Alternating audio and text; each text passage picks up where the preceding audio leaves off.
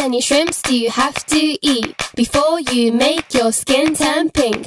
Eat too much and you'll get sick. Shrimps are pretty rich.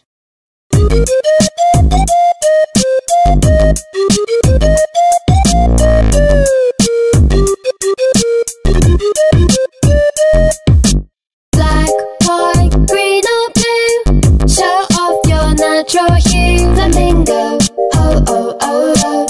you're multicolored that's cool too